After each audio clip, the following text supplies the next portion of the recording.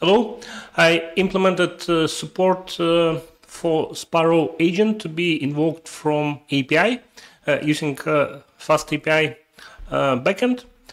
And this is the script where uh, inside Sparrow where endpoint is implemented and the, all other agents currently available in Sparrow like Llama in, index or um, Haystack or unstructured agents are callable through the same uh, through the same functionality, through uh, through the same endpoint, and uh, you just need to pass uh, agent name that you want to invoke. And this is the generic method available here called inference, right? And we accept a set of parameters, and then we call backend engine where request is being processed and uh, correct agent is invoked and uh, inference is invoked uh, then input data is processed and uh, response is validated and, and, so on and then we get back the response.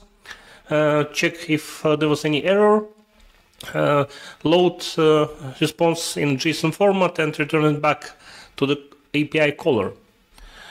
Okay and here it's quite simple to start API uh, with Python process. We call API script and open uh, open it on port uh, 8000 here. And basically, then we can call the agent. So because it's implemented in generic way. And this is the UI uh, uh, that comes out of the box from FastAPI application where we load endpoints and uh, we get uh, where we load list of endpoints and here we have uh, inference endpoint. And uh, here we can pass the agent name that we would like to invoke. In this case we invoke a sparrow parse.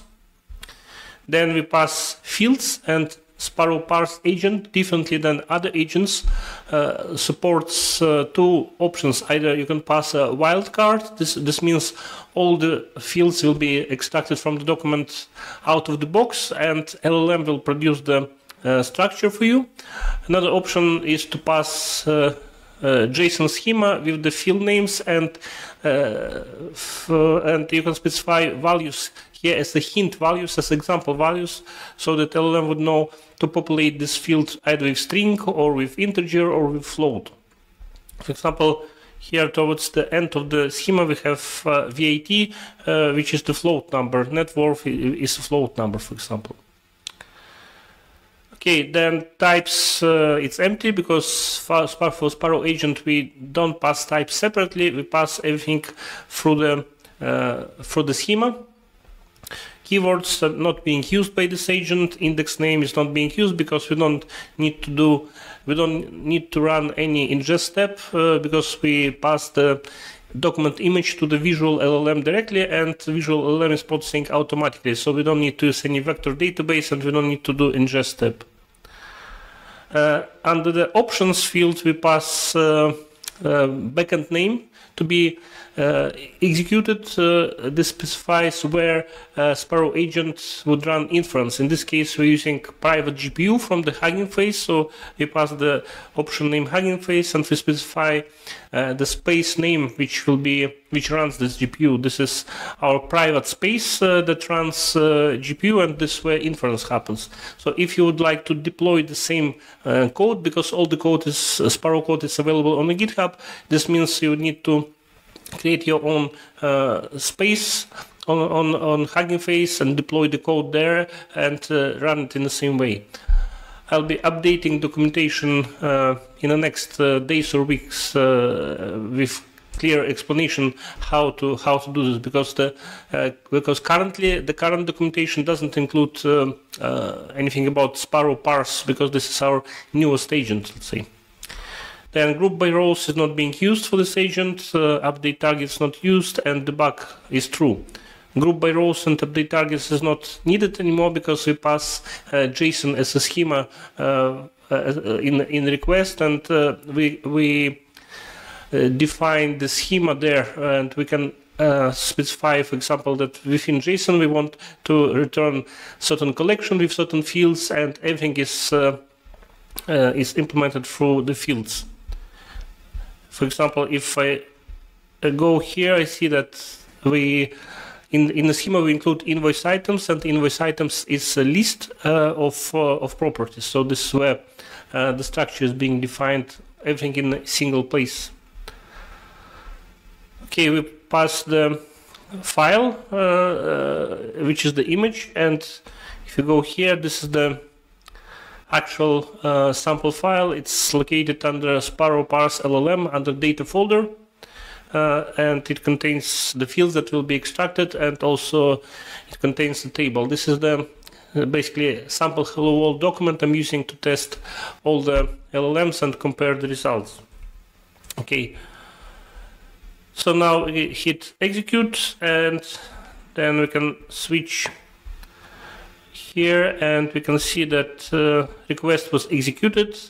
Uh, this is the image that uh, we submitted to the service and this is the, the query that was sent to LLM uh, Qwen2 uh, visual uh, model with seven, with 7 billion parameters. So we specify the list of fields and we specify the schema and we say that please return response in JSON format by strictly following this JSON schema as the one that we get from from the request. Okay, trans, and if you go uh, into the space, we can see that uh, this option to check the log, we can see that uh, checkpoints were loaded.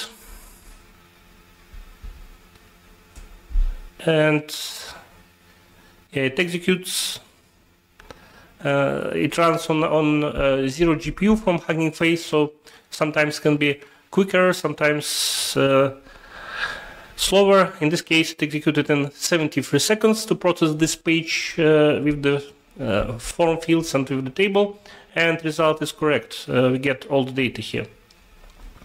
And then if I switch back to the Swagger UI, I can see that we got successful response here, and this is the response uh, with the data extracted from the from the document. So we get four rows, and this is the invoice summary table, and all the data is actually valid. if we we can check original document, so we got four rows, and uh, this one is 1429 so it's 1429 right? And the address for the client is uh, Angela Plain. So we get address for the client Angela Plain which is correct. Okay so thanks for watching and uh, in this video I was trying to show and explain how uh, new Sparrow agent uh, Sparrow parse is callable through API and the the way request goes uh, first it goes to the FastAPI application, then it goes to Sparrow agent uh, through the Sparrow engine, and then uh, it goes for the inference execution on Hugging Face private GPU backend, and then uh, response travels all the way back through the validation and comes back to the client. So thanks for watching and see you next time. Bye.